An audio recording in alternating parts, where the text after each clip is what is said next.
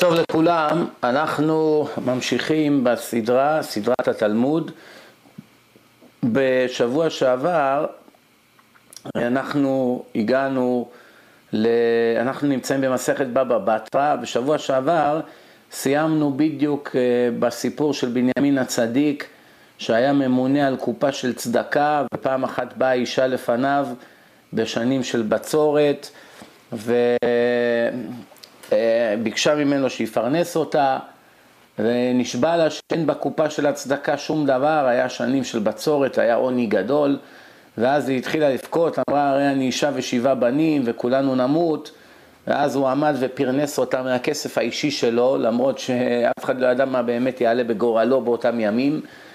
ואחרי כמה שנים הוא חלה ועמד למות באו מהלכי השרת לפני הקדוש ברוך הוא והתלוננו, אמרו ריבונו של עולם, אתה אמרת כל המקיים נפש אחת מישראל, כאילו קיים כל העולם כולו, ובנימין הצדיק שהחיה אישה ושבעת בניה ימות בשנים מועטות הללו, ימות בגיל כזה צעיר, מיד קראו לו את גזר דינו והוסיפו לו על שנותיו 24 שנה. מכאן אנחנו בכלל דיברנו הרבה בשיעור שעבר בעניינים של צדקה, צדקה תציל ממוות, ומה המעלה של אחד שנותן צדקה, שאפילו גדול ממשה רבנו, הגמרא אומרת.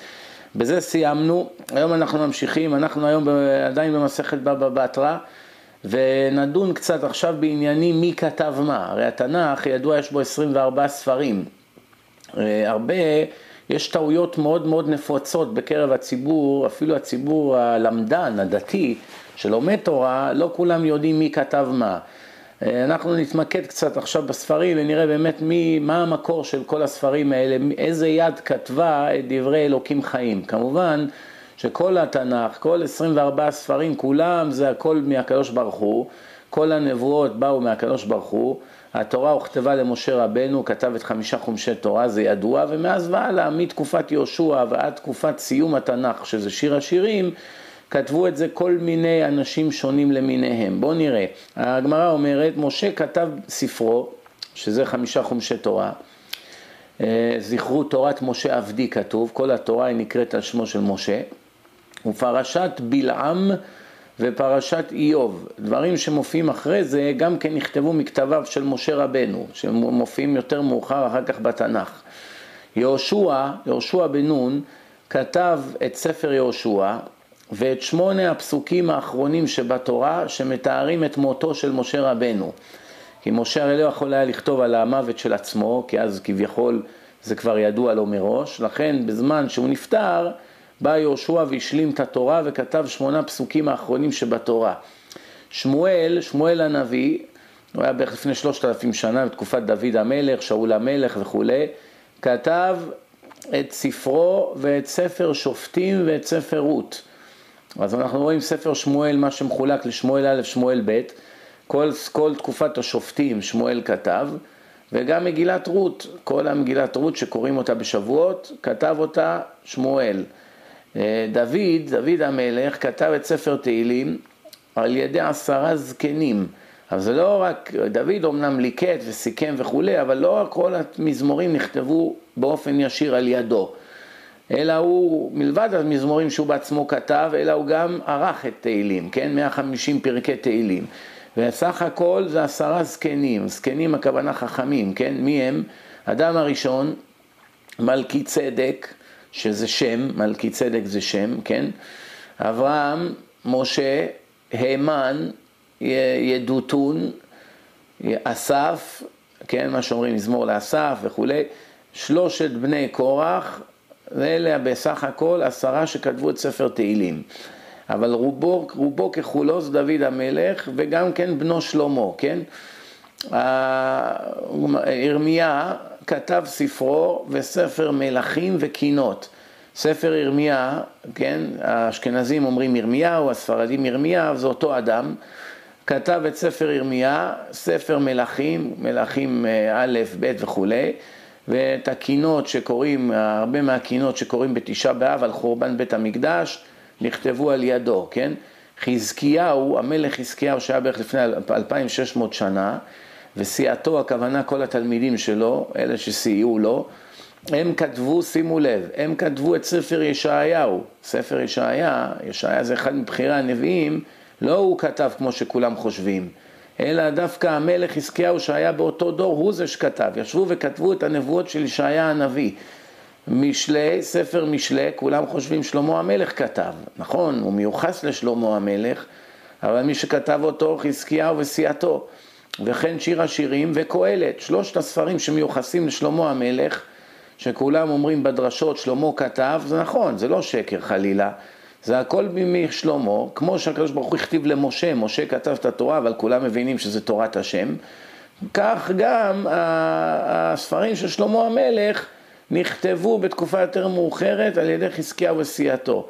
זאת אומרת, הם ערכו את הכל, אספו את הכל, כל מה שהיה כתוב, ליקטו את הכל וכתבו את הספרים האלה, משלי, קהלת ושיר השירים. אנשי הכנסת הגדולה, שהיו קצת לפני יותר מאלפיים שנה, אה, כתבו את ספר יחזקאל, יחזקאל הנביא, הוא היה חי בעיראק, בבבל, רואים שרק כמה מאות שנה אחרי שהוא נפטר, ספר יחזקאל נכתב. לא הוא עצמו כתב את הספר, אלא נכתב אחרי פטירתו. ותרי עשר, 12 הנביאים שאחריו מופיעים, גם כולם כתבו אנשי הכנסת הגדולה, ספר דניאל, כן, ומגילת אסתר, כן, אף על פי שזה מיוחס למרדכי ואסתר, שהיו בערך לפני 2400 שנה, בערך 200-300 שנה אחרי זה, כתבו את זה אנשי הכנסת הגדולה. עזרא, כן, עזרא כתב את ספרו, ספר עזרא, ואת הייחוסים של כל דברי הימים, עד ל"ו, כן? והגמרא אומרת, לא, אמר רב לא עלה עזרא מבבל עד שייחס עצמו, כן? ועלה.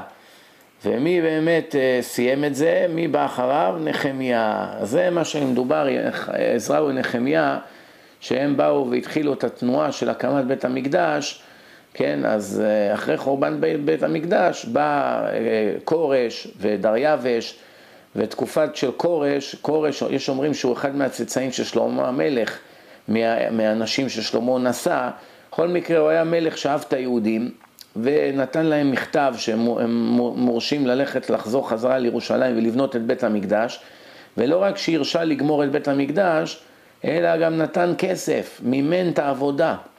כן, ומימן את העבודה, ואז בא עזרא, ובערך 14 שנה אחריו בא נחמיה עם שאר התלמידים, שלחו הזמנות לכל היהודים לבוא ולעזור, וכמעט כולם הסכימו, חוץ מהתימנים שהיו בתימן, התימנים לא רצו לבוא, אף על פי שלא היה להם אה, חיים של סיר הבשר, כן, בתימן תמיד היה עוני, אבל היה להם טוב בתימן, והם לא, סירבו לבוא, ויש אומרים שעזרא קילל אותם, את העדה התימנית, שתמיד הם ירצו להיות בראש. זאת אומרת שכל תימני יבער בתוכו האש, שבכל מקום שהוא יהיה הוא ירצה לשלוט. זה אחד האמונות לגבי העונש שהם קיבלו וזה שהם סירבו לבוא לבנות את בית המקדש. אני אומר, היום בימינו סיר הבשר נמצא נאמר בארצות הברית או באירופה או בשניהם, זאת אומרת אם היום יעלו, אם היום יבואו לבנות את בית המקדש השלישי וישלחו הזמנה לכל יהדות ארצות הברית ואירופה וכולי, שעשירים וכולי, ויגידו להם לבוא ולעזור בבניית בית המקדש, מסתמה גם כן אף אחד לא יסכים, מלבד הצדיקים הרציניים ביותר, לוותר על ההון שלו ועל העושר ועל הנדל"ן וכל מה שהוא השיג בגלות, ולבוא ולהתחיל להתיישב בארץ ובתנאים של הארץ ולהתחיל לעזור בבנייה, לא מאמין שיש, שיהיו הרבה מתנדבים. אנשים שישלחו כסף מסתם מה יהיה, כי דרכם של העשירים תמיד להרגיע את המצפון שלה, שלהם על ידי ששולחים כסף, אבל עדיין יהיה אותו מצב, כמו שבזמנו התימנים סירבו לבוא לעבוד פיזית ולבנות את המקדש, סביר מאוד להניח שגם בימינו הרבה מהעשירים לא יסכימו, או בכלל מיהדות הגולה, גם העניים, לא, לא ירוצו לבנות את בית המקדש לדאבוננו הרב. הגמרא ממשיכה, אנחנו עדיין בבבא בתרא, אמר מר, יהושע כתב ספרו ושמונה פסוקים שבתורה. תניא דמאן דאמר, שמונה פסוקים שבתורה יהושע כתבן. דתניא, וימות שם משה עבד השם. אפשר משה מת וכתב? איך יכול להיות שמשה כתב על פטירתו של עצמו? הוא כבר מת. כן, שנכתב, וימות שם משה, אלא עד כאן כתב משה, מכאן ואילך כתב יהושע. זו הדעה של רבי יהושע בתלמוד. ואמרי לרבי נחמיה, ויש אומרים שזה לא היה רבי יהושע, אלא זה דווקא רבי נחמיה שאמר את זה. אמר לרבי שמעון, אפשר ספר תורה חסר אות אחת? יש כאן בעיה. רבי שמעון חולק, מה הוא אומר? הוא אומר, תראה, לא ייתכן שהתורה לא הושלמה על ידי אותו מקור. שמשה השאיר את התורה, הם חסרים בו שמונה פסוקים, הרי אם חסרה אות אחת בתורה, כל הקדושה שלה בטלה.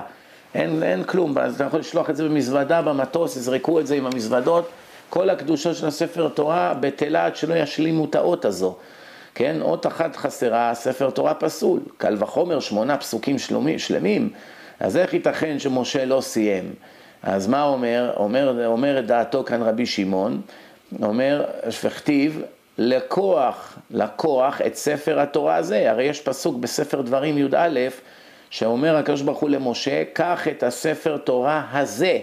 זאת אומרת, הקדוש ברוך הוא כבר קרא לספר ספר תורה. אם היו חסרים בו שמונה פסוקים, לא ייתכן שהקדוש ברוך הוא היה קורא לספר ספר תורה. כי חסרה בו אות אחת, חס ושלום, הוא כמו נייר, חתיכת נייר, אין בו כלום. כן, ברגע שהקדוש ברוך הוא אמר למשה, קח את ספר התורה הזה, חייבים לומר, לפי שיטתו של רבי שמעון, שהספר תורה הזה כבר היה מושלם לגמרי, אלא איך נסתדר עם הבעיה ששמונת הפסוקים האחרונים משה כותב על מותו של עצמו, איך נסתדר עם זה? אז הגמרא אומרת, אלא עד כאן הקדוש ברוך הוא אומר, ומשה אומר וכותב. מכאן ואילך הקדוש ברוך הוא אומר, ומשה כותב בדמע. עד לשמונה פסוקים האחרונים, משה כתב על כל מה שקרה לפי ההוראות של הקדוש ברוך הוא. ואז הקדוש ברוך הוא אומר למשה, תכתוב עכשיו את השמונה פסוקים האחרונים שבתורה, ומשה קורא עכשיו בזמן שהוא כותב על פטירתו של עצמו, איך הוא נפטר. כותב ובוכה, בזמן שהוא בוכה, ואז כבר ממילא זה יום האחרון של חייו, במילא ביום האחרון של חייו של האדם מתבטלת ממנו הבחירה. הגמרא אומרת שרגליו של אדם ערבות לו ליום הפטירה, האדם לא קובע לאן ללכת. בכל יום רגיל אדם מחליט ללכת ללמוד תורה, ללכת לחוף הים. זה בחירה שלך, הכל שכר ועונש, הכל, הכל בחירה חופשית. יום המוות, אתה לא שולט בעצמך, אתה רובוט. אתה לא מרגיש, אמנם אתה חושב שאתה בוחר, אבל משמיים מכוונים אותך עם שלט, ללכת למקום ששם אתה צריך להיפטר מן העולם. אם זה לעלות על אוטובוס וחס ושלום יש שם פיגוע, או בית חולים, או כל מיני מקומות שאתה אמור להיות, שם אתה, רגליך לוקחות אותך לשם ממילא.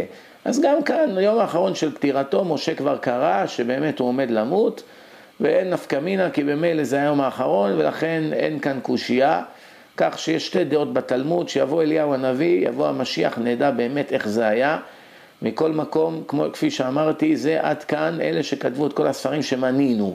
הגמרא ממשיכה עדיין בבבא בתרא, שבעה נביאים נתנבאו לעובדי כוכבים. עם ישראל היה לו המון נביאים, 48 נביאים, אבל גם לגויים היו נביאים. היו כמה גויים צדיקים, והגמרא מביאה מי הם.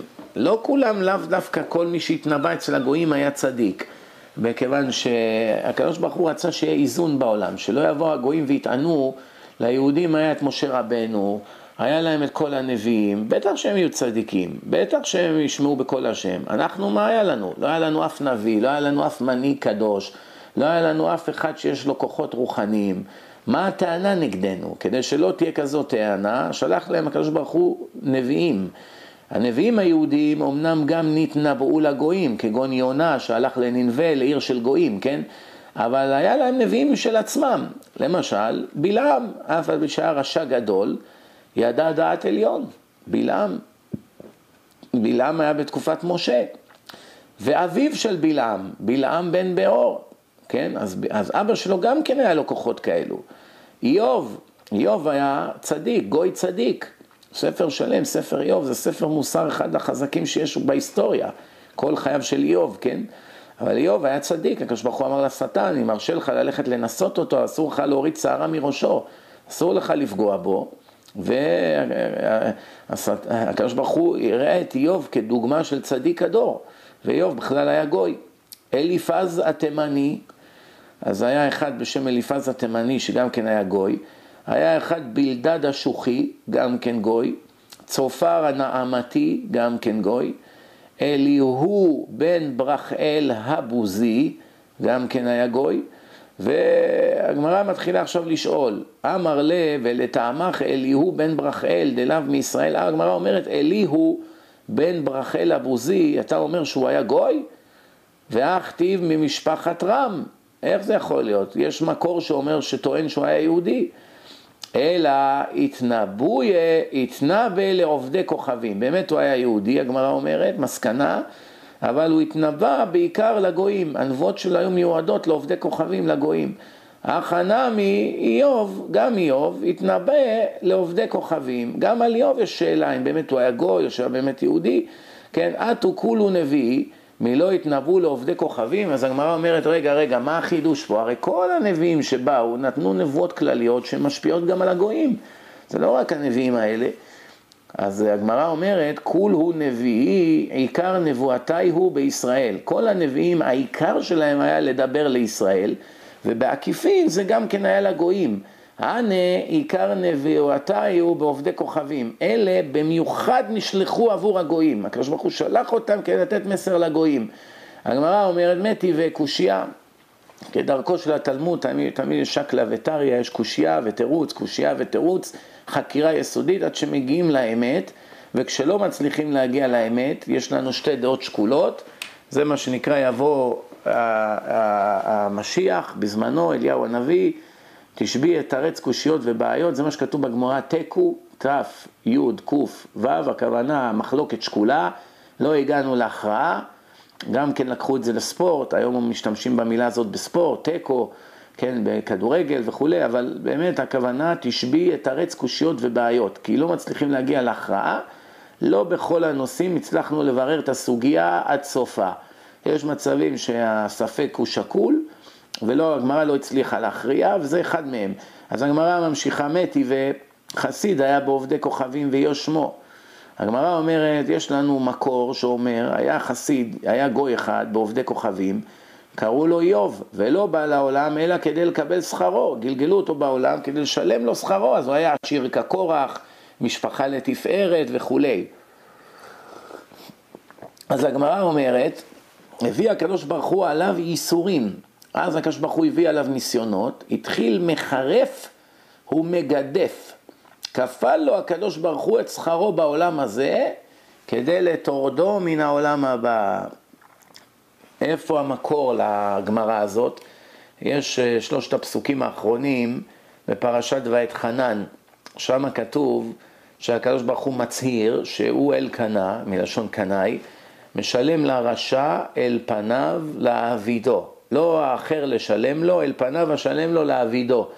אז אנחנו רואים שמי שצדיק, הקדוש ברוך הוא שומר לו את השכר שלו לעולם הנצח, שזה מעלה ענקית, זה אף פעם לא ייגמר.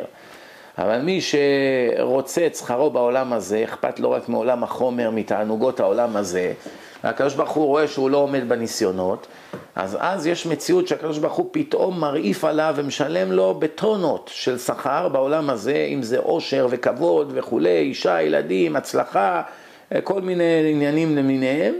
כל החלומות שלו כביכול מתגשמים בפרק זמן של 10, 20, 30 שנה, ואז הוא טורד אותו מן העולם, מגיע לבית דין של מעלה, אומרים לו, שילמנו לך על כל המצוות שהיה לך, זהו. נשארת עירום.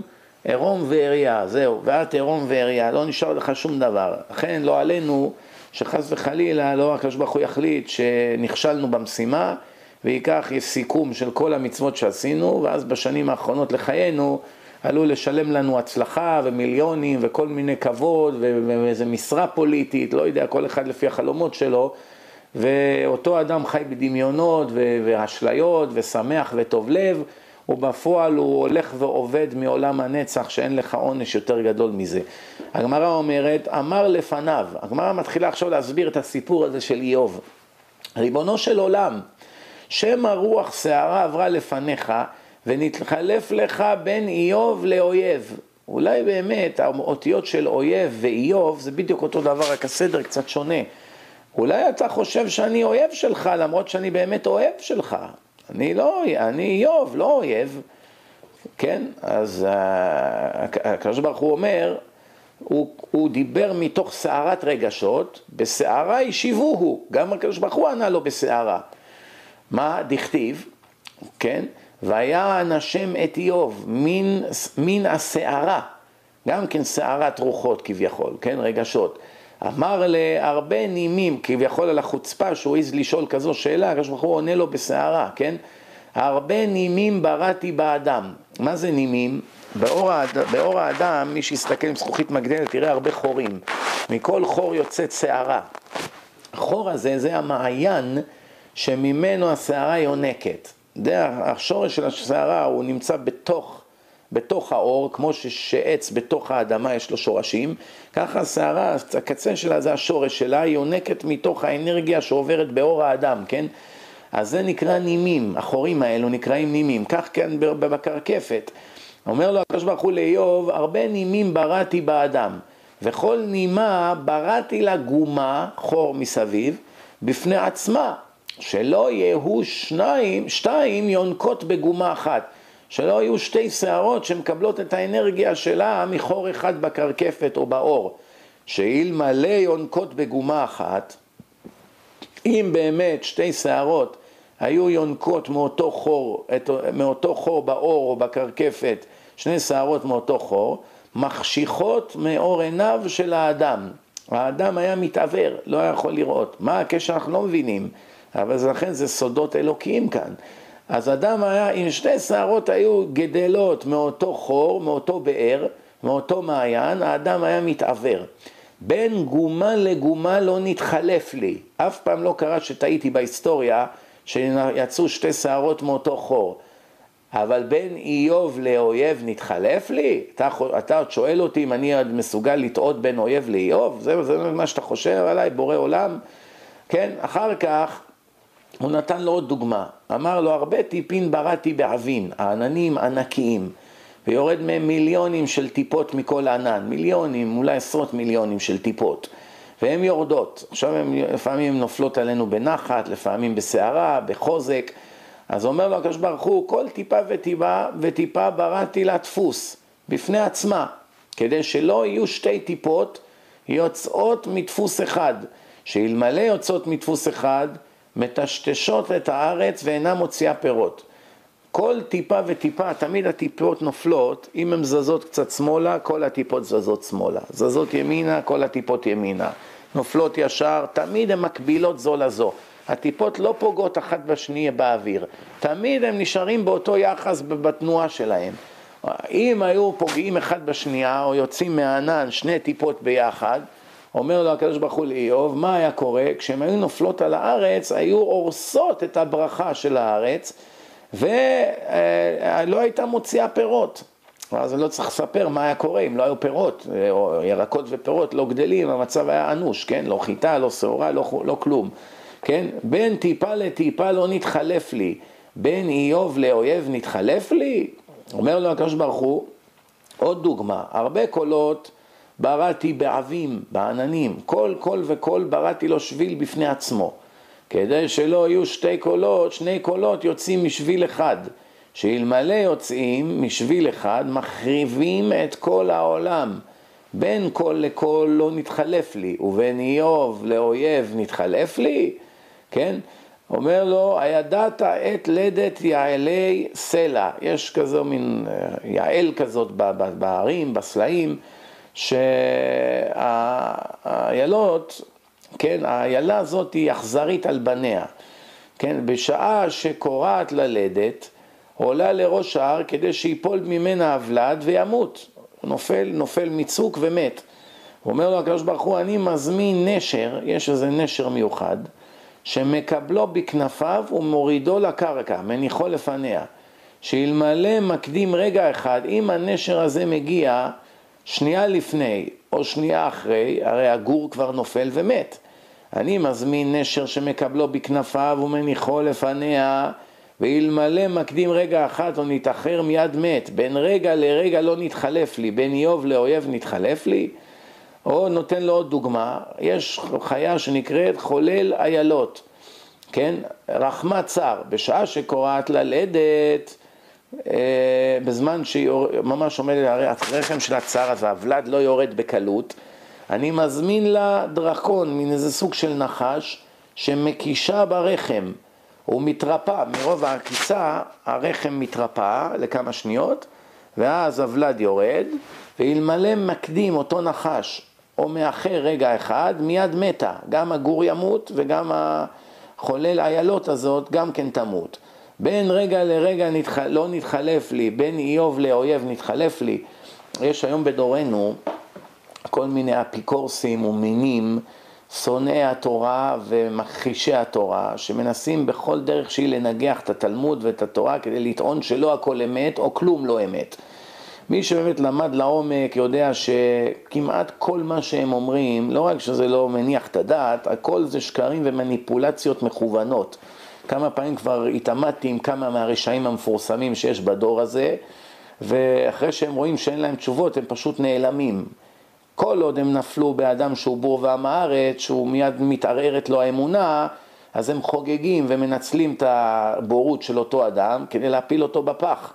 ואז האדם הזה יורד מהרמה הרוחנית שלו, ולפעמים ממש עד כדי כך שנהיה חילוני ועוזב את התורה, בגלל שלא היה לו בסיס מוצק. אבל כשהם נתקלים באיזה מרצה, איזה מישהו שהוא מומחה בנושאים האלה, אז הם מתחילים לנסות פעם, פעמיים, והם בורחים אחר כך. מתחילים להיות גואליים ולזרוק מילים וכולי. כמובן שהסיבה לזה שכל מה שהם טוענים הכל שקר וכזב. הנה אחד התנאי, התנאים שהם אומרים, הם באים לטעון איפה יש היום את הנחש הזה שעוקץ את החיה הזאת בזמן שהיא יולדת. אז קודם כל זה בכלל לא קושייה, למה התלמוד כבר אמר שבכל דור ודור התוואים משתנים. יש המון דברים שמתוארים בזמן התלמוד, אין אותם יותר בעולם. יש אלפי חיות שהיו ונכחדו מן העולם. אפילו בדורנו אין חודש בעולם שאין איזה זן מתוך המיליוני זנים שיש בטבע שלא נכחד. כל מיני תנינים ונחשים, זנים שנכחדים בטבע כל הזמן. זה שחיה שמדובר עליה בתלמוד הייתה לפני אלפיים שנה והיום היא לא נמצאת בעולם, זה בכלל לא ראייה. מה הראייה? שהתלמוד טעה? הרי אתה רואה שהתלמוד מדבר מתוך תיאורים בשטח. הרי אנשים צריכים להפעיל את הראש שלהם ואת השיקול דעת שלהם. בזמן שהחכמים כתבו על חיות מסוימות, למשל איזה חיה מסוימת שיש לה חבל שמחובר מחוט הטבור לתוך הקרקע. והחיה הזאת יש לה רדיוס של אורך החבל, והיום לא מצאנו את החיה הזאת בעולם.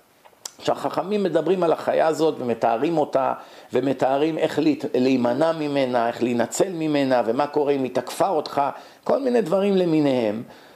מה החכמים יעשו מעצמם צחוק? הרי תארו לכם שהיום יושבים חכמים וכותבים הדרכות אל העם, לתלמידים שלהם בישיבות, יש איזה חיה, אני יודע, במדבר או במצפה רמון או לא משנה איפה, ושם היא ככה וככה, אם שתלכו לשם, אם היא תתקיף אתכם, אם נעקצתם, אם נפגעתם, תרוצו לנהר, תעשו ככה וככה, בכלל אין כזו חיה בעולם. הרי החכמים יבאישו את ריחם בעיני העם, מי אחר כך ישמע אליהם? במיוחד שאלה אנשים שהגאוניות שלהם, כמו שאני תמיד אומר, כל הרבנים של הדור הזה ביחד לא ישבו לאחד מהם, מחכמי התלמוד. ומי שלא למד תלמוד לעומק, הוא לא מבין מה הייתה גדלותם, איזה מוחות היו להם. הרי הם ידעו את כל התורה בעל פה. מימין לשמאל, משמאל לימין. כל הנביאים, אלפים של אלפים של אלפים של פסוקים, הכל בעל פה. אף פעם לא סתרו אחד את השני. בכל סוגיה בתלמוד, תמיד הם שלפו פסוקים שהיום אנחנו בעזרת המחשב לא מסוגלים לעשות כזו עבודה. שלא לדבר על רבינה ורב אשי שערכו את התלמוד אחרי 400 שנה סיכמו אלפי אלפי ממרות של כל חכמי כל הדורות בכל העולם, בלי טלפון, בלי מחשבים, בלי מה שיש היום בעולם, בעולמנו, דואר ו, וכל מיני דברים, ומכשירי קשר וכולי, וטלפונים, לא היה להם את כל האמצעים האלה. ישבו במקום אחד וערכו את כל דברי התורה של תורה שבעל פה שנאמרו 400 שנה בישראל ובבבל ובשאר חלקי העולם, כן? והכל מלוקט למה שנקרא התלמוד. עם אין סוף ידיעות שאי אפשר פשוט להאמין איזה רמה של ידע, ולבוא ולהגיד עליהם שהם חיו בדמיונות והם דיברו על חיות והחיות האלה לא היו בדורם, הרי אתה רואה שהם מתארים אותם מתוך ראייה על החיות האלה. אלא מה, זה שעכשיו אתה לא מוצא איזה חיה או שניים או עשר, זה לא משנה, הם נכחדו מהעולם. לא רק זה, גם טבע האדם השתנה. פעם היה פשוט בזמנם, אדם היה צם שבוע ימים רצוף בקלות. היה אוכל רק בשבת. החכמים, המקובלים, הצדיקים הגדולים, היו עושים תעניות משבת לשבת, אוכלים מערב שבת לערב שבת. פעם חכם היה אוכל רק חרובים ושותה מים שבוע ימים, אדם שיעשה את זה היום ימות תוך שבוע. חרובים זה כמו קרשים עם קצת סוכר בתוכם. אדם שאוכל כל הזמן חרובים, הקיבה שלו תחתך לחתיכות. אז בזמנם רבי חנין בן נוח שבוע, כל החיים שלו שבוע ימים אכל חרובים כל השבוע וזה. הגמרא אומרת שהיה זקן, זקן שהיה מחזיק שני תלמידים שלו באוויר ורץ, הייתה שריפה, הרים שני תלמידים באוויר והתחיל לרוץ. איפה יש כזה זקן בדורנו שיכול להרים שני אנשים בידיים ולהתחיל לרוץ ספרינט? או כל מיני דברים, או יש מתוארים אנשים גדולים בזמן התורה, התורה, על התורה אין הרבה חולקים על התורה. על התלמוד יש הרבה שלא מבינים מה זה תלמוד, לא מבינים שהתלמוד נכתב בצורה מתוחכמת ויש בו הרבה סודות, לכן הם מרננים ונובחים הרבה, אבל אין להם בכלל אפילו מיליונית האחוז של ידע מה זה תלמוד בכלל. אבל על התורה יש הרבה מה שנקרא מסורתיים, אפילו הגויים מודים, הנוצרים, המוסלמים, שעם ישראל למדו בהר סיני, מיליונים שמעו שהקדוש ברוך הוא נותן תורה למשה ולעם ישראל, אז על התורה אין הרבה מעוררים, אבל בתורה בעצמה כתוב שהיו ענקים, אנשים ענקים בגודל של בניינים. תורה מעידה שהיה בחברון, בתקופת אברהם אבינו היו ענקים, שבאו המרגלים לארץ, מצאו בארץ אנשים ענקיים, אנשים בגודל של מעל חמש מטר. היום אדם שני מטר ומשהו כבר נחשב ענק. רואים שהעולם השתנה, כל הזמן העולם משתנה, אין בזה שום סתירה ושום קושייה. כן, בואו נתקדם הלאה. אז הגמרא ממשיכה, אנחנו עדיין במסכת אה, בבא אה, בתרא, והגמרא אומרת ככה, אה, ההוא גברא, כן, היה איש אחד, אדם אחד, דשמא לדוד הוא דקאמרא לברתא שמע את אשתו אומרת לבת שלו, המה היא לא צניעת באיסורה? הוא אומר, אומר, תראי, את יכולה לעשות עבירות, אבל תהיי חכמה, אל תעשי עבירות בפרהסיה, בפומבי, תעשי אותן בסתר. כמוני, את רואה, אני עבדתי על אבא שלך. אך איתתה, אותה אישה, עשרה בני איתלה, יש לה עשרה בנים. ולט לי מאבוך אל אחד, רק אחד מהם הוא באמת בן האמיתי של אבא שלך. כל התשעה האחרים הם מכל מיני גברים שהתפרפרתי איתם. עכשיו הוא שומע את אשתו מעידה לבת שלו שככה היא עשתה. עכשיו הוא אומר לעצמו, איזה מעשרה בנים האלה זה בן שלי? הוא בעצמו עכשיו לא יודע. עכשיו הוא מתלבט איזה מהם זה הבן שלו. כי שכיב, שהגיע זמנו והיה גוסס, אז הוא כתב צוואה. אמר להם, כל נכסי לחד ברא, כל הנכסים שלי לבן אחד. ולא ידי להי מיניו, אני לא בטוח איזה מהם בן שלי. השאיר את זה ככה. עטו לקמא דרבי בנה, באו לבית דין, היה שם אב בית דין רבי בנה, קראו לו. אמר להו, אמר להם, טוב, יש לנו פה באמת בעיה. תלכו בבקשה לקבר של אבא שלכם, חבוטו קיבורה דאבוכון, קחו מקלות ותקעו על הקבר של אבא שלכם, עד שיקום מהקבר שלו או שיבוא אליכם בחלום או משהו, הוא מגלה לכו להי מנחו שבקה, והוא יגיד מפורש למי מכם הוא השאיר את כל ההון שלו. הלכו כולם, אז לא כולהו, הלכו כל העשרה, כן, ועשו כדבריו, הרביצו, הרביצו, הרביצו, אחרי זה שחזרו, אז שואל אותם הרב לכל אחד, הרבצ, הרבצת? אומר כן, הרבצת, הרבצת. העשירי אמר, לא הרבצתי, לא, לא הכיתי. אמר לו, כל הנכסים של אבא שלך, כולם באים אליך. למה? אמר להם, בן אמיתי לא יכול להרביץ על הקבר של אבא שלו. מבחינה רוחנית, הנשמה מרגישה. ברגע שבאתם כולכם והרבצתם, הרבצתם, מכאן רואים שהקשר ביניכם לאבא שלכם הוא לא רוחני אמיתי. אבל הוא, משהו עצר אותו, הוא הבן האמיתי, כל הממון הולך אליו. זה מוסר השכל אלינו, בדור שלנו, שאנחנו בנים של הקדוש ברוך הוא, כתוב בתורה, בנים, השם, בנים אתם להשם אלוקיכם, בכם בחרתי מכל העמים להיות לי לעם, ואנחנו בעוונותינו הרבים בוגדים בקדוש ברוך הוא וכפויי טובה אליו כמעט כל שעה בחיינו. לא מכירים טובה, מתלוננים, מדוכאים, עצובים, עושים טובה שעושים איזה מצווה קטנה, מתקמצנים בצדקה למרות שהשם אמר לתת. כל מה שהשם אמר אנחנו כמעט עושים הפוך, וגם שכבר עושים, עושים חצי, וגם שכבר עושים חצי עוד מתלוננים שנה אחר כך, וגם כן בפרצוף זעוף וכעוס ועצוב. כן? וגם אחרי שכבר עושים, מתחרטים שעשינו. עד שכבר נתן פעם בחיים שלו צדקה, אחר כך יומיים הוא יושב בוכה. הכל, איך אומרים, בקושי, בדיל ויעבור, ממש בקושי. כן, אז זה, על זה מדובר. בן האמיתי יכול להרביץ על הקבר של אבא שלו, בן האמיתי יכול לבגוד בקדוש ברוך הוא, לעשות את מה שאנחנו עושים. איזה מין בנים אנחנו. באמת הגיע הזמן שנתחיל להיות בנים נאמנים. הגמרא ממשיכה עדיין בבבא בתרא, רבי ינאי אבא לאילן הנוטה לרשות הרבים. רבי ינאי היה תלמיד חכם גדול, היה לו עץ שהענפים שלו עוברים מעבר לחומה לרחוב. אבל הוא גברא דאבה לנה מאילן הנוטה לרשות הרבים, בא, בא אליו לדין שני אנשים, ראובן ושמעון. ראובן הזה יש לו עץ שגם כן פולש לרשות הרבים.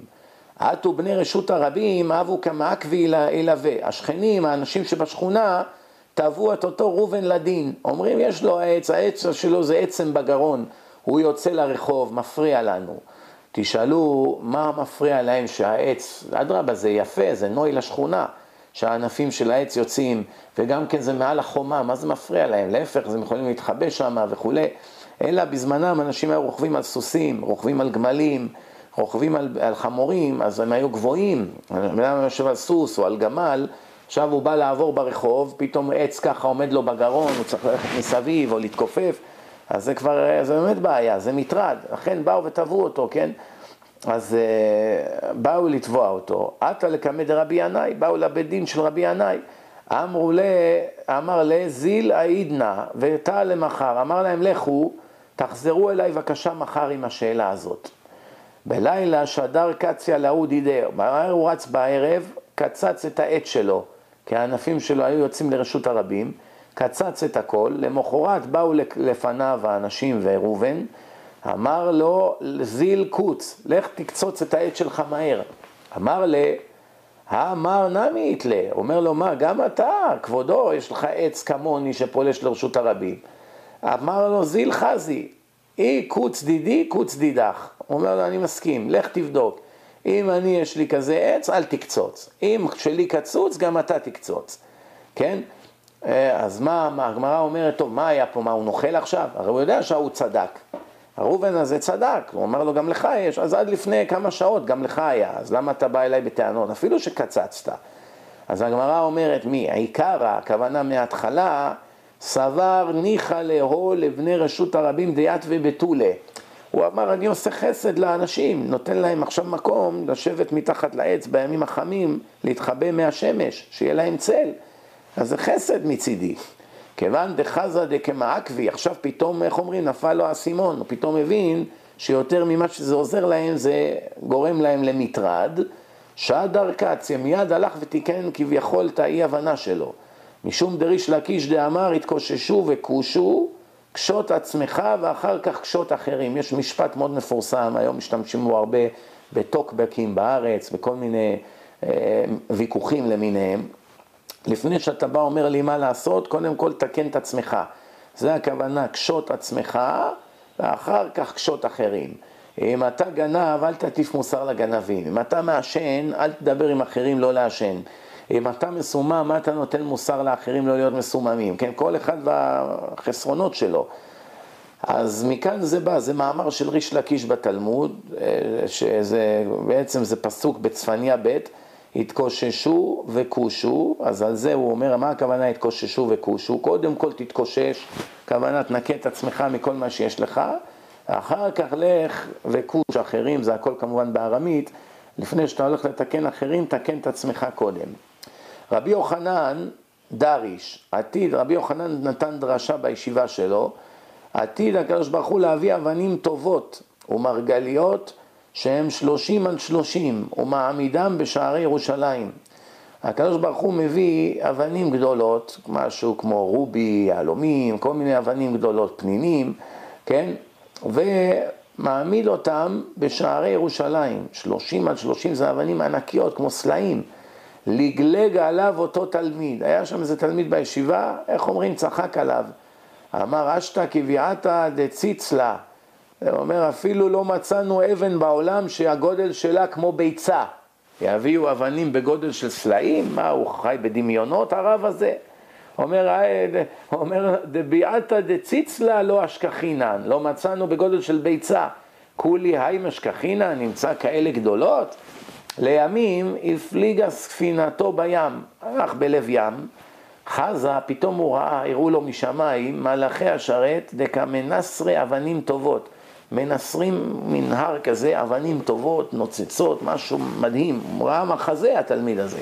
משמע מכאן שהתלמיד הזה לא היה איזה, איך אומרים, איזה פראייר בשוק. הוא בעצמו היה איזה תלמיד חכם גדול שהראו לו כזה דבר משמיים. והיו המנסרים אבנים טובות ומרגליות שהם שלושים על שלושים, וחקוק בהם עשר ברום עשרים, עשר על עשרים, זה גודל ענק של כל אבן. אמר ל... הני למאי, שאל את המלאכים, מה זה כל מה שאתם מכינים? אמרו לו, שעתיד הקדוש ברוך הוא להעמידם בשערי ירושלים. בזמן שהמשיח יבוא ויבנו את בית המקדש וכל היצר הרע יתבטל והעולם יתנקה מכל הרשעים והגאולה סוף סוף תבוא אחת לתמיד הפעם, כן? אז יעמידו את האבנים האלה בשערי ירושלים, יהיה לה מראה שאי אפשר לדמיין אותו אפילו, כן? עתה לקמא דרבי יוחנן, אז הוא אמר מהר רץ התלמיד הזה לרבי יוחנן, כביכול להתנצל. אמר לו, דרוש רבי, דרוש, כבוד הרב, לך נאה לדרוש. כאילו הוא חוזר בי מזה שלגלגתי עליך. כאשר אמרת כן ראיתי, כמו שאמרת באמת הראו לי משמיים. אמר לו הרב, רקע, איך מה שאומרים בימינו, סתום, אלמלא לא ראית, לא האמנת? אומר, מה, אתה צריך ללכת לראות ראיות למה שאנחנו מלמדים מהתורה? מה, אני ממציא מעצמי דברים? אומר לו, אם לא היית רואה, לא היית מאמין. מלגלג אתה על דברי חכמים, נתן עיניו בו ונעשה גל עצמות. הוא הקפיד עליו כל כך שהוא מת, התלמיד הזה. נשאר שלד, נשאר ממנו. עד כדי כך הוא היה קדוש, רבי יוחנן. מה אנחנו רואים? למדנו מכאן מוסר השכל ענק. במיוחד כל הבעלי תשובה שיש היום בדור, או לשאלה שמתחזקים, או החילונים וכולי. כולם אומרים את אותם מניירות, אותם דברים, חוזרים על עצמם, כל הזמן חוזרים וחוזרים וחוזרים. מה אומרים? תוכיח, לא, לא השתכנעתי, יש לי ספקות, אני לא בטוח, לא נראה לי, נראה לי שזה הגזמה, כל מיני מאמרים כאלה. אבל באמת מי שחכם, התורה כבר הוכיחה את עצמה. אלפי שנה, אתה לא הראשון שבא לבדוק את התורה. גדולי הפילוסופים בהיסטוריה שאמרו תורה ומצוות, שאלו את כל השאלות שרק חלמת עליהן, והם ידעו את כל התורה, ואף על פי כן נחה דעתם, והם קיימו הכל. מה אתה בא לשנות סדרי עולם, למרוד, להיות אנרכיסט, למרוד בשלושת אלפים שלוש מאות שנה של היסטוריה של מיליונים שמסרו את נפשם על תורת ישראל.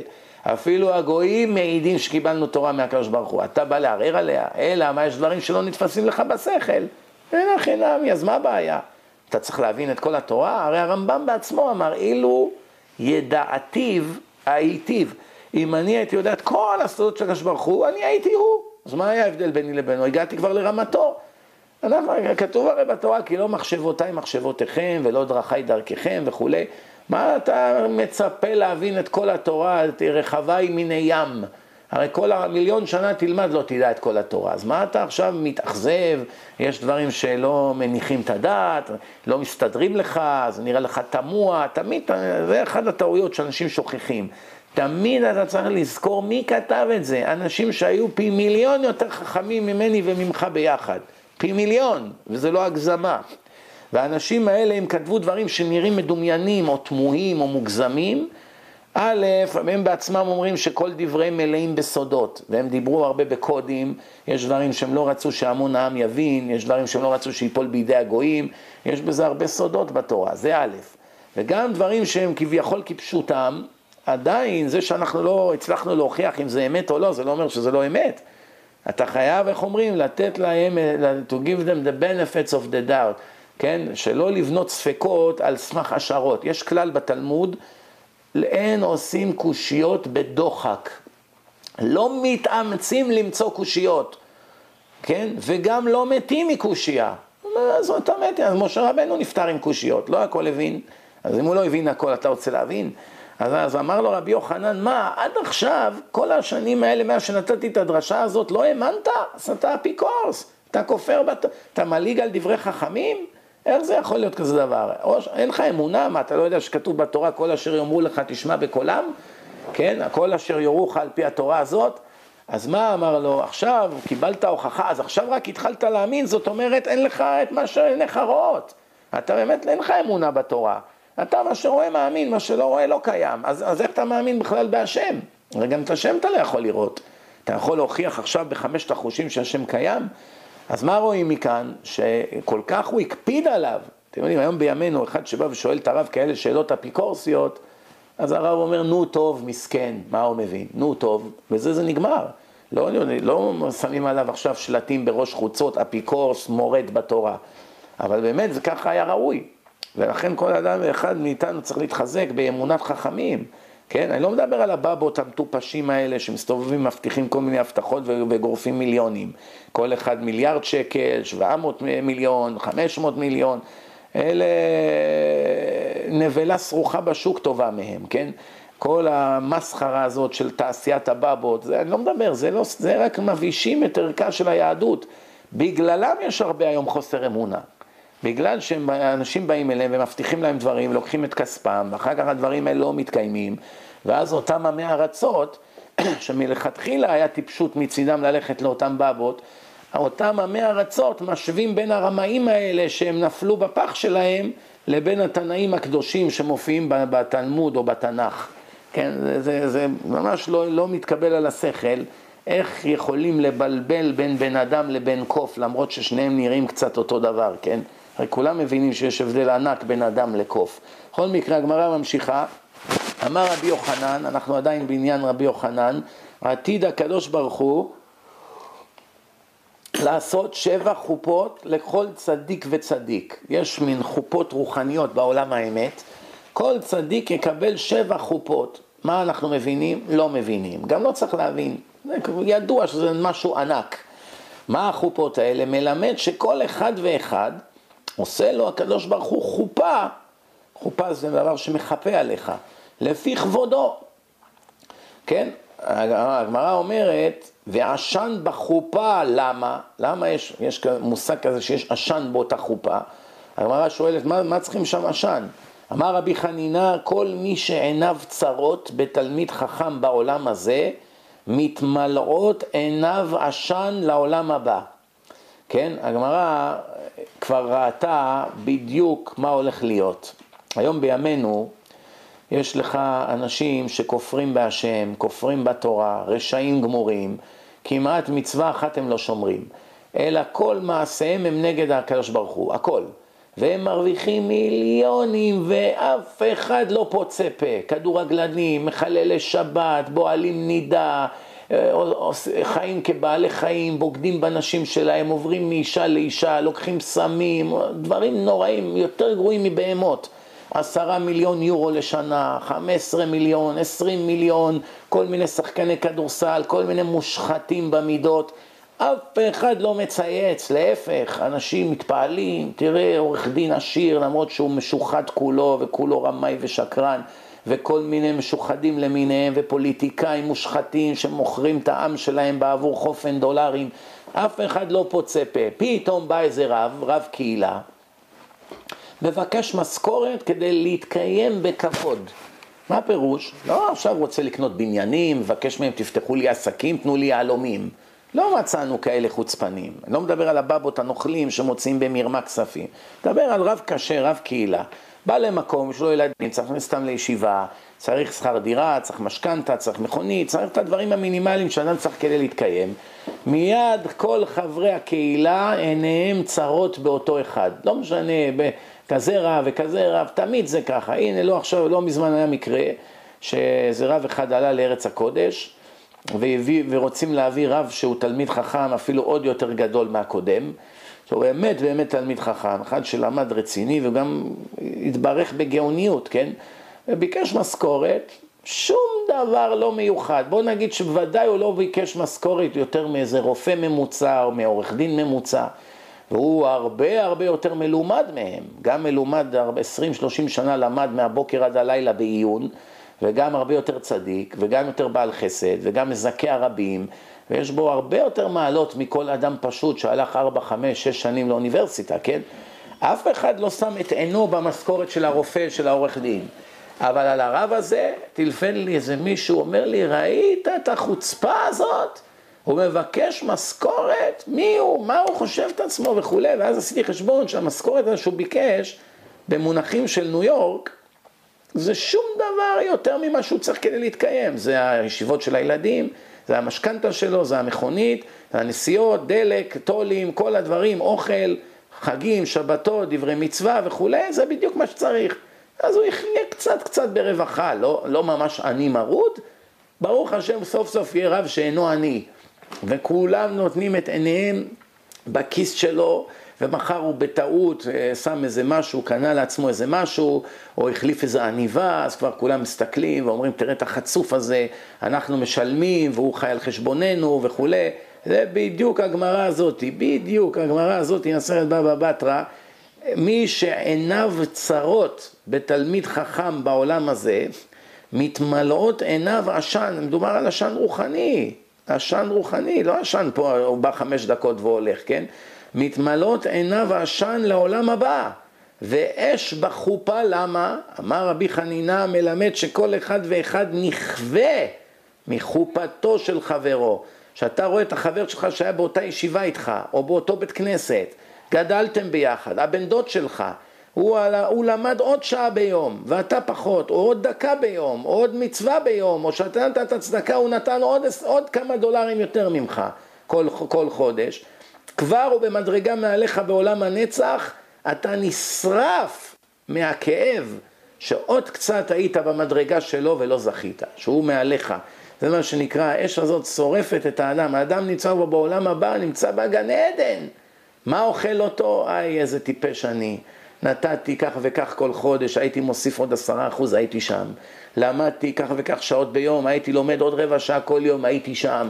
עשיתי חסדים, עוד חסד אחד ביום, עוד דקה הייתי שם. כל אדם ואדם יבין שם מה היה המשמעות כל דקה ודקה בחיים. כמו שבא אחד לרב משה פיינשטיין, אומר לו, כבוד הרב, אני לא מבין, אתה כבר גמרת את הש"ס, את התלמוד, את, סליחה, את כל הגמרא, גמרת כבר מאה פעמים, שזה אלפי עמודים, מאה פעמים את כל הסדרה גמרת. יש ש"ס משניות, שזה רק המשניות, בלי הגמרא, שזה הרבה הרבה יותר קצר, בטח עשית את זה מאות פעמים. מה עכשיו אתה עושה מסיבה, סיום ש"ס משניות? זה, ילדים בר מצווה כבר יש כאלה מגיעים לגמור ש"ס משניות. כאילו, אני רוצה להבין, מה מיוחד בסיום הזה שאתה עושה? אומר לו, אתה חכם אתה. למה אני מתרגש שגמרתי את הש"ס משניות עכשיו? בגלל שאת הש"ס משניות הזה למדתי בזמן שקיפלתי את התפילין שלי אחרי תפילת שחרית כל יום. כולם מקפלים את התפילין, מסתכלים בטלפון, מדברים, צוחקים, מה המזג אוויר, מה קורה, מה היה, מי יבוא, מסתכלים, סתם חולמים, אה, מבזבזים שתיים, שלוש דקות. כל יום בזמן שקיפלתי את התפילין למדתי משנה שתיים. ואז אחרי כמה חודשים, תוך כדי כך גמרתי עוד פעם סדרה שלמה של כל שישה סדרי משנה, בזמן שכביכול הוא אבוד אצל כל אדם. הזמן הזה אבוד. אני לקחתי את הזמן, החייתי אותו מן המתים, וגמרתי בו את כל המשניות, ותראו מה זה שכר ענק לאדם שמסיים את כל הסדרה. אז זה מראות לך שבעולם הבא, שם יש גדולים שבעולם הזה מבינים מה זה כל דקה, לא מבזבזים רגע. אבל בעולם הבא כולנו נבין, גם הבורים הכי גדולים שמבינינו, שם הכל יהיה ברור כשמש. הגמרא ממשיכה, אומרת, זקנים שבאותו הדור אמרו, פני משה כפני חמה, פני יהושע, יהושע בן נון, שירש את מקומו של משה, כפני הלבנה, שהיא יותר קטנה ופחות מבהיקה מהשמש. אוי לה לאותה בושה, אוי לה לאותה כלימה. אמר רבי יוחנן, לא כירושלים של העולם הזה, ירושלים של העולם הבא. יש ירושלים בעולם הזה שכולנו מכירים אותה, ויש את ירושלים של עולם הנצח, כן? ירושלים של העולם הזה, כל הרוצה לעלות עולה. כל ארחי פרחי יהודי, ערבי, נוצרי, צ'רקסי, ארמני, טורקי, סיני, עובד אלילים, צדיקים, רשעים, זכרים, נקבות, הכל, בעלי מומים, חיות, כולם רוצים ללכת, עולים לירושלים, אין, אין פוצה פה, אין שומר ואומר אתה לא ראוי להיכנס לעיר הקודש, אין כזה דבר. אבל ירושלים של עולם הבא, אין עולים אלא מזומנים לה, בודדים יהיה להם VIP card, כרטיס VIP שיזכו להיכנס לירושלים, עיר הקודש בעולם האמת, לא בעולם הזה, אלא בעולם הנצח. יהי רצון שאנחנו נהיה מבני אלה שנקבל את הכרטיס לעירו של בורא עולם. הגמרא ממשיכה, הגמרא אומרת ככה, אנחנו עדיין במסכת בבא בתרא, אמר רב, אימא דאברהם, אימא של אברהם אבינו, איך קראו לה? אמתלי בת קרנבו. יש סגולה שאם שוטר תופס אדם בכביש ועומד לתת לו רפורט או משהו, אם הוא אומר 17 פעמים את השם הזה, אמתלי בת קרנבו, אמתלי בת קרנבו, אפילו שהשוטר מדבר איתו, ממלמל את זה, אומרים שזה סגולה שהגזרות יתבטלו. אימא דהמן, מי הייתה אימא של המן? אמתלי בת אורבתא, זה השם שלה. לשניהם קראו אמתלי, אימא של אברהם ואימא של המן.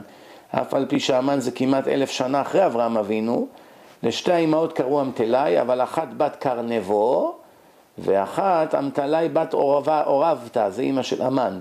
וסימנך טמא טמא טהור טהור. יש, יש אמתלי אחת טהורה ויש אמתלי אחת טמאה, כן?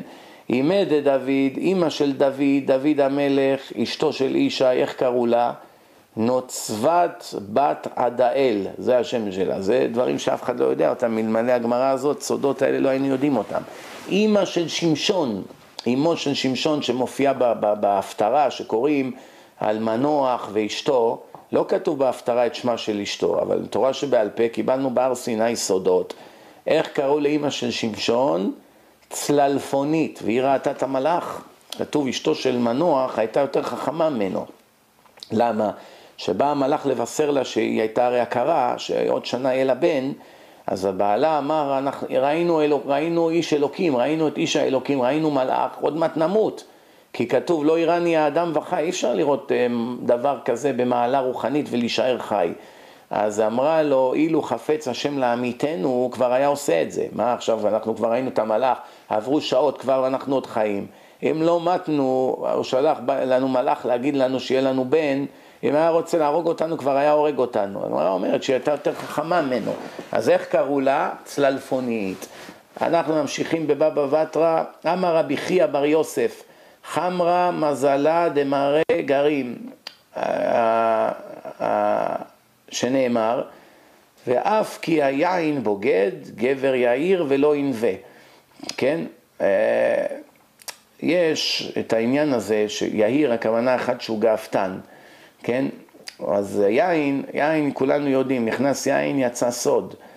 היין הוא בוגד באדם, שעכשיו שאדם שתה יין, עכשיו הוא כבר ביד המזל, לא יודע מה יצא לו מהפה. כשהוא יתעורר הוא אפילו לא יודע מה. אם לא יקליטו אותו, הוא לעולם לא ידע מה אמר. וגם לא תמיד יגידו לו האנשים שמסביבו מה הוא אמר, מהבושה.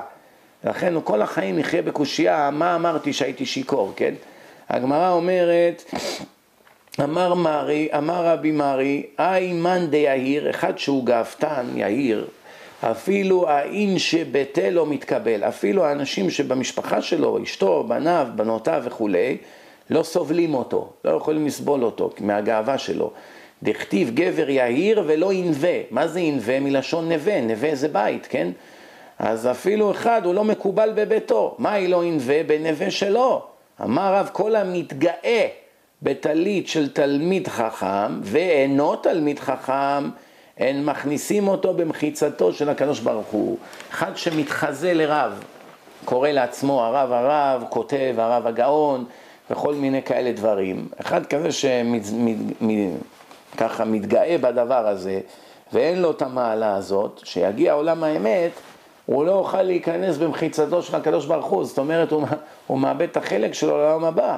כן, לא מדובר עכשיו, תראו, היום בימינו יש תופעה שהיא רווחת, מה פירוש?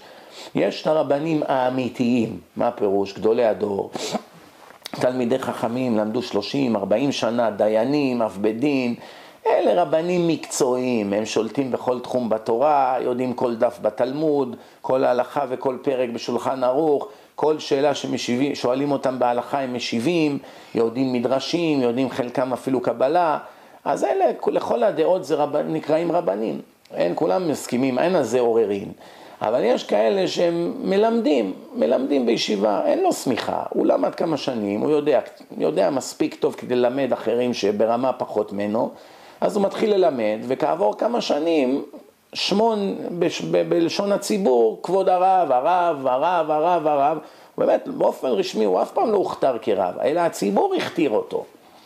כן, הציבור הכתיר אותו, מה, יש לו כבר עשרות תלמידים, והתלמידים כשלמדו אצלו הרבה תורה, הרי כתוב בגמרא שכל מי שלימד אותך אפילו הלכה שניים, הוא כבר, אה, אתה צריך לקרוא לו הרב שלך, כמו שדוד המלך קרא לאחיתופל, אלופי מיהודאי, למד ממנו שתי הלכות, כבר קרא לו אלופי מיהודאי וכולי, כן, אז אה, כל מי שלימד אותך אפילו הלכה שתיים, אתה חייב לנהוג בו כבוד כרב.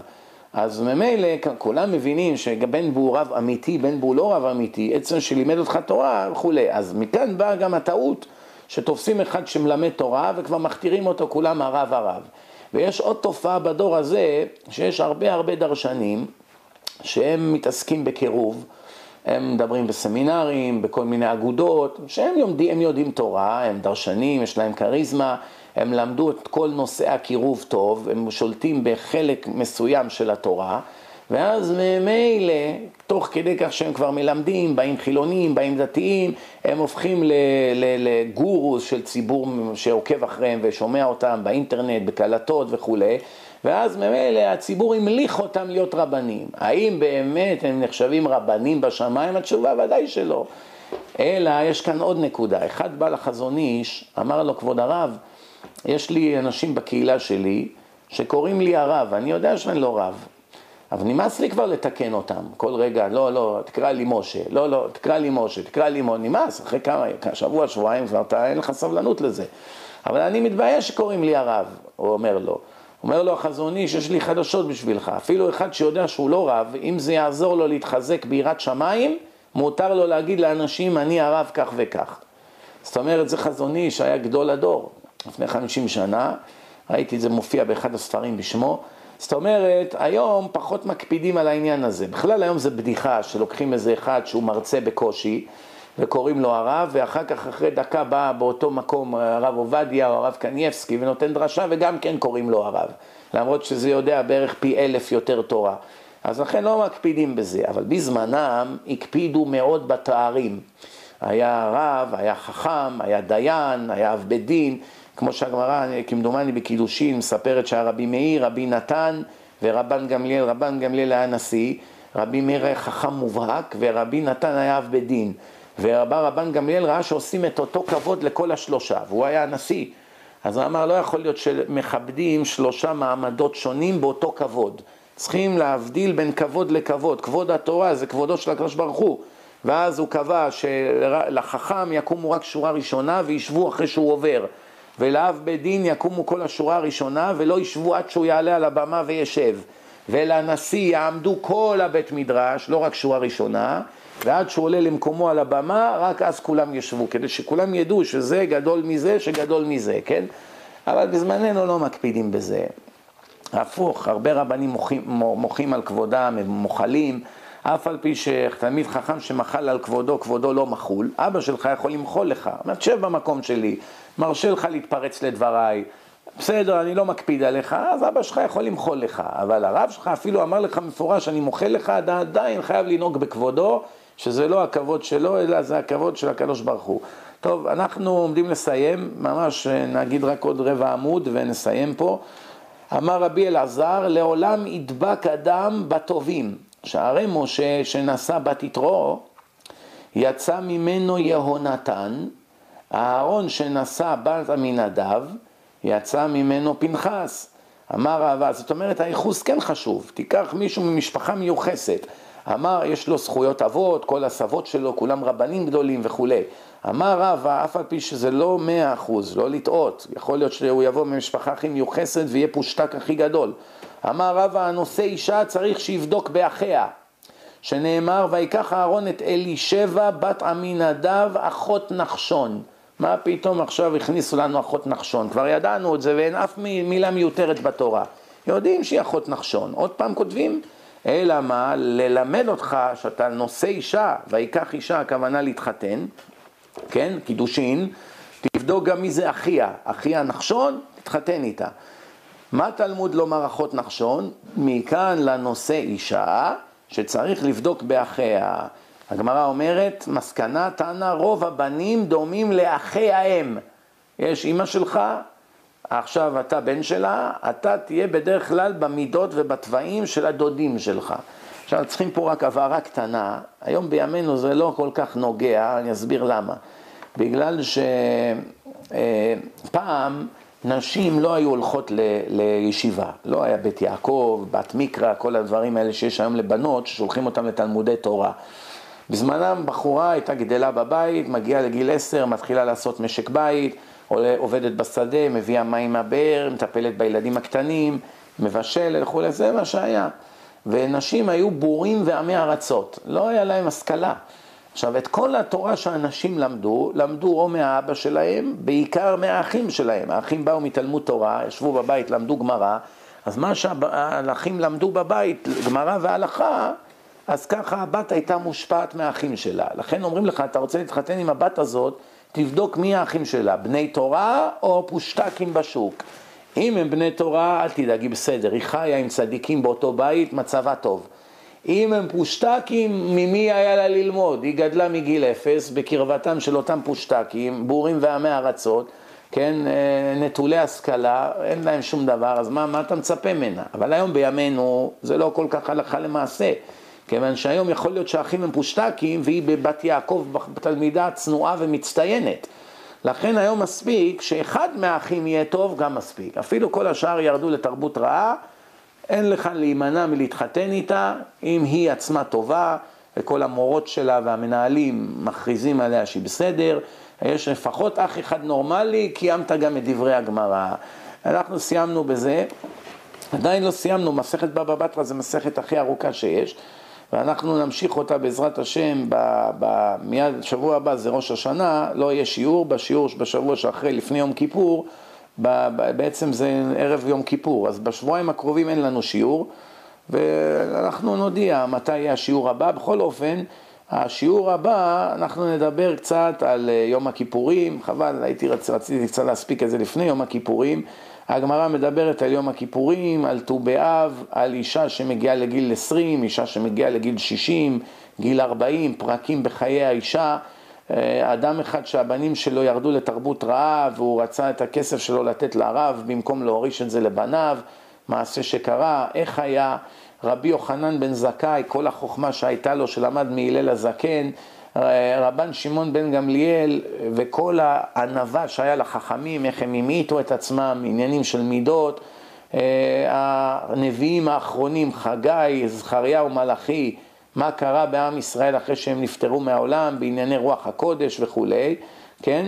מצוות כתיבת ספר תורה, סמיכת הרבנים, מה היו עושים בזמן הרומאים למי שסמך את תלמידיו לרבנות, כל מיני דברים מאוד מעניינים. דוד המלך, היה לו ישן חצי שעה, מתעורר בחצות הלילה עם הכינור, כל מיני דברים מעניינים בשיעור הבא.